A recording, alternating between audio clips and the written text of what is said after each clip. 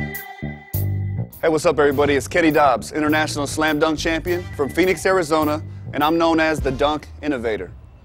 There's so many great accomplishments over the years that I've accomplished from this dunk game. I'd have to say some of the most memorable was winning the Sprite competition in 2012. Not only did LeBron James actually hand me the trophy after winning that competition, but I actually performed one of Cedric Ceballos' most famous dunks, the blindfold dunk, where I jumped over three people and went between the legs with the blindfold on. Everybody just went crazy after that. So that was the highlight of uh, all the dunk competitions from that point.